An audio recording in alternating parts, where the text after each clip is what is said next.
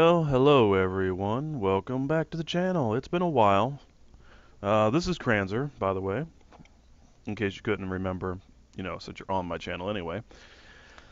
Uh, I've been I've been kind of uh, taking a break from making videos, having a little bit of trouble coming up with uh, ideas for content.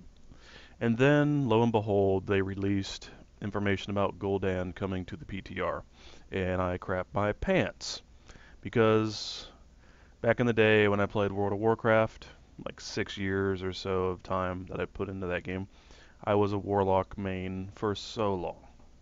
So I was very eager and anxious simultaneously to come on here and see just how much of a Warlock, you know, they transferred into Heroes of the Storm. So here we are, my first game, loading up right now. Um, I've, I've tried them out in try mode and nothing else. So I bought the uh, the whatever that spider skin was. I've only got the uh, first tent, so that's the best matching I can do. But it looks pretty cool, pretty cool skin. I think that, that's pretty nice. It goes with the mount that I got from my uh, my seasonal reward pretty well. So I've been I've been thinking about this guy, how to build him, and looking at their team. I think I think I'm going to try out a build that I was gonna build up with uh, corruption. Now, like I was saying, how does he uh, how does he portray as a um, warlock, right? How good did they do?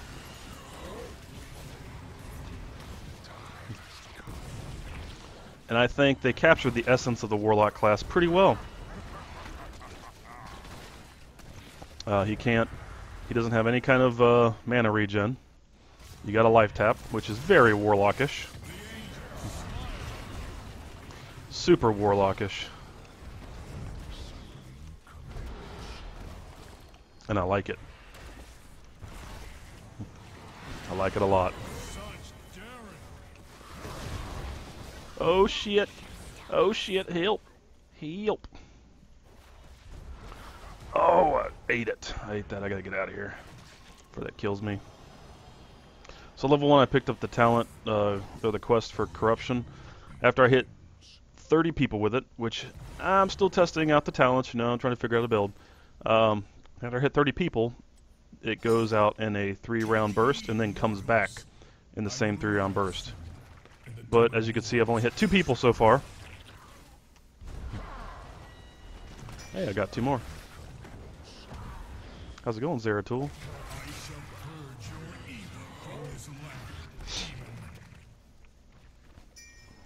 So I need some practice with that ability.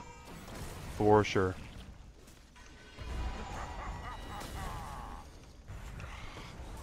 Uh-uh. Bro.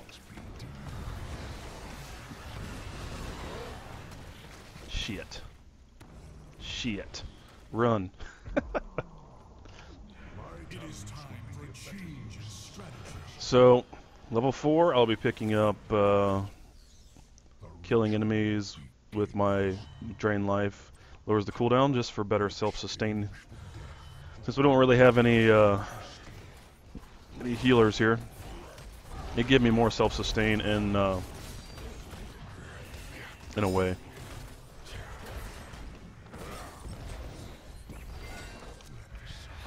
It's gonna take some getting used to to, to uh, actually life tap my way. Like, well, not really. I mean, I, since I played Warlock for so long, it's not. It shouldn't take too long, but still, a little different.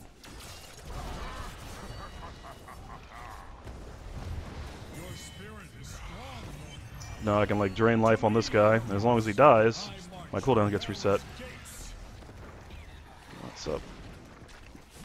Zeratul, you turd. Think you're sexy? Is that what it is? You're sexy, bro? Man, this guy, this Zeratul, man, he's wanting the balls. He's wanting my nizuts. Man, that was a good throw. So they don't have any good targets. Ah, this fucking Zeratul, man.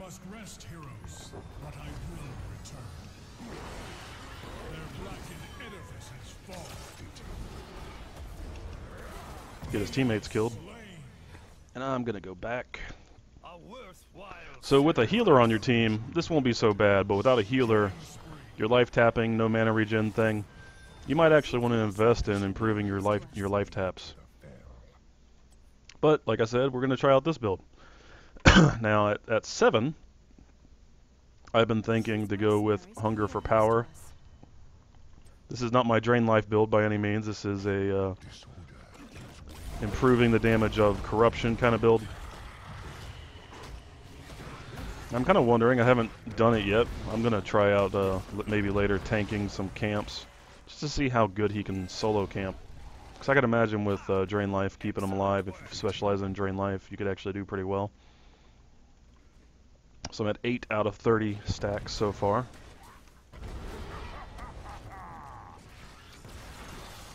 He is coming down there, kids. He is coming down there. Alright. He stopped.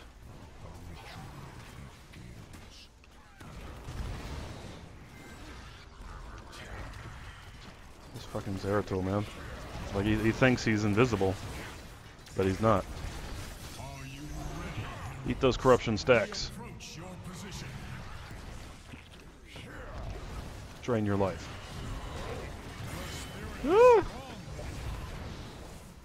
Excellent work. I will deliver this realm from your corruption. Alright, we're gonna go ahead and heal at the fountain.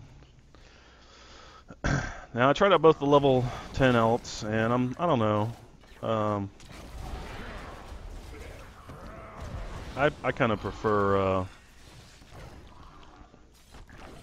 oh shit! Turn around and fight him. I prefer the alt that gives me the uh, the fear right now. The other one, I don't remember what it's called. Rain of Fire. Yeah, Rain of Fire. Uh, it doesn't. It doesn't. Eh, it's got such a big area. Oh yeah, double stack. It's got a big area, act, you know, of activation to it. And uh, that implies a lot of random damage. Horrifies what we'll be doing.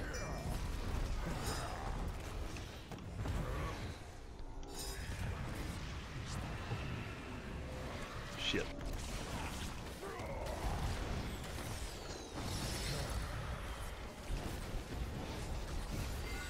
This is solid.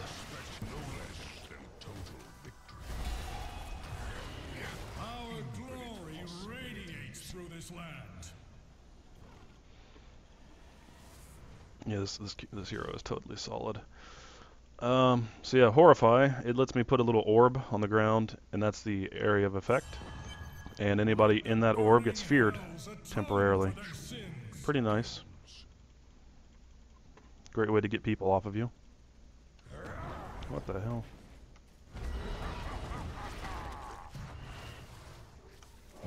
Hadouken.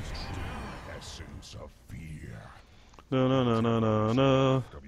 That was kind of a waste. I probably would have killed her with the corruption. But, you know, new character, right? I do wish that they would let me life tap on the mount. That would be cool. But that's not how it's going down right now. 16 out of 30 stacks so far, and it's good you don't lose your uh, your progress with the quest. So that's nice. That was a wreckage. My strength leaves me. Alright, so uh, I need to find more heroes, man. Everybody's all split up. Well, hello there. the Oh. The time has come. So level 13's coming around. Level 13, I'm going to be going with Health Stone for the self-sustain.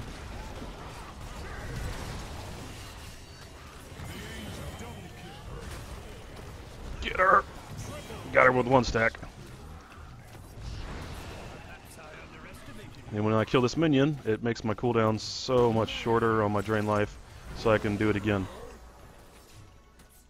But the guy that I was going to do it on died, so. So now we got Hellstone, which is going to be anti-dive mechanics. Nice, nice.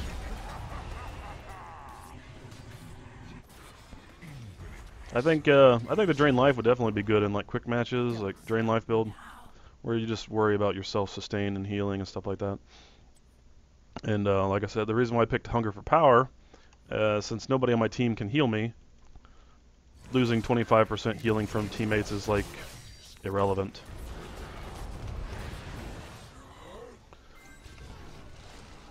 So because of that, my damage will be 15% higher on my abilities, which is worth. That veered her the wrong direction. Damn. I'm so sad. Oh, missed. So bad. Oh, drag him into it. Oh, they're going ham. Team's going ham. Give me that life steal. Good job, team. God, his wave clear is pretty crazy, too. Love it. Yeah, let's go ahead and push that. Now, of course, he cannot, uh, he can stack corruption on buildings, and he can hit it with multiple shots, so it will stack up and do tons of damage. Absolutely tons of damage.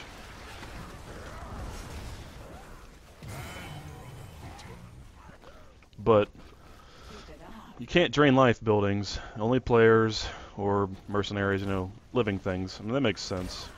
Living things can be drain lifed. Damn it. So that can be kind of problematic for you if you don't have a healer, I guess. But most of the time, it seems to be working out pretty well. So.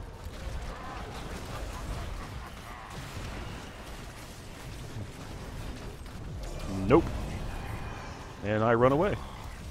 Oh, oh no, he's chasing me. He's still coming after me. That uh, that hellstone just saved my ass.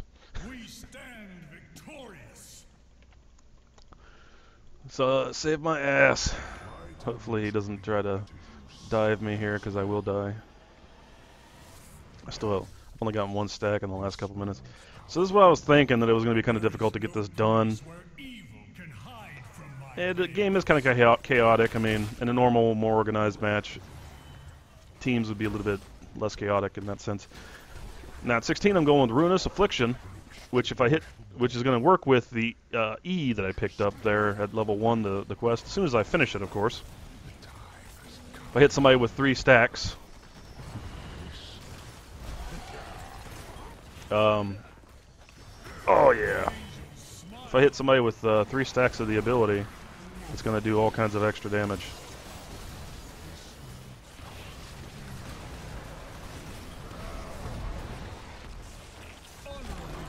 God, I could have had a, I had a great opportunity right there to get some stacks. I fucking messed it up.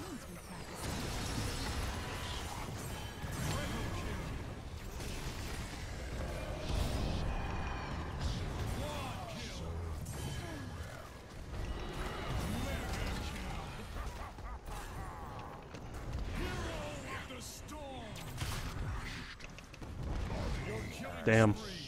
Damn, ran out of stuff, but I think the Immortal's going to kill the game when, so. Well, that was an okay display. I, guess I didn't get to do, like, I didn't even finish my damn quest. I did have the most damage, not surprising. This guy's pretty strong, very, very strong for mid-range. Like, I, I see him competing with Kael'thas pretty well in mid-range combat. Uh, go over the talents real quick again. So this is what I was trying to get stacked up. Essentially, I failed at it, but you know, haven't practiced a lot. Team comps weren't ideal, so I, I can expect not to get it done right away. Anyway, this is this is the idea. So this thing, you get 30 stacks on it. When it hits the third spot, it will come back. So to hit the third spot again, second spot, and then first spot. So to do six shots. So if you get into a good team fight area where you know there, the, the fight's going on and everybody's in into it, balls deep, that will come back and hit everybody for a maximum of three times, stacking up three times. Now, in combination with the level 16 talent, the first uh, when you hit somebody, it does additional damage. I think at level 20 it's like an extra 140 damage every shot, and if you hit them with three shots, then it does like an extra 500 damage at level 20 or something like that. Uh, That the damage it's reading right there is the base damage. So that talent at 16 works in conjunction with the talent at level 1. So you'll get the six shots. So you shoot it into a team and then back. And if it hits people three times, which, you know, if they're standing in that area and it going back and forth, you're pretty much guaranteed to get a couple people hit three times. You're doing tons of extra damage on top of the already high overtime damage that it does. This also works on buildings. I tried it on a keep. You shoot it across the keep, hit the keep like with two, if you're lucky, three of the shots from the corruption, and then it comes back and hits it again. It's going to hit that extra 78 damage, extra 78 damage, extra 200 damage. This is just going off the base, as you can see on the talent. That's going to come back and hit again for more extra damage on top of it stacking up the extra bonus damage. So I was able to take a keep down like half HP in 10 seconds. You know, it, it, it was ridiculous. I'll have to I'll have to do it uh, later. I'll have to show it off a little bit. But that was my my corruption build. Uh, I'm going to work on some more content because uh, if you paid any attention at all to the PTR notes, there are tons of changes going through this patch. Tons of changes. So I'm going to explore a couple of the heroes. Probably try to do a couple more games as this guy, get get some more practice in because I think I found my new main hero that I want to play, my new assassin. I'm an assassin player, and when they announced him as a warlock, that's an assassin and not some kind of like specialist bullcrap like they did with my necromancer, I was super excited.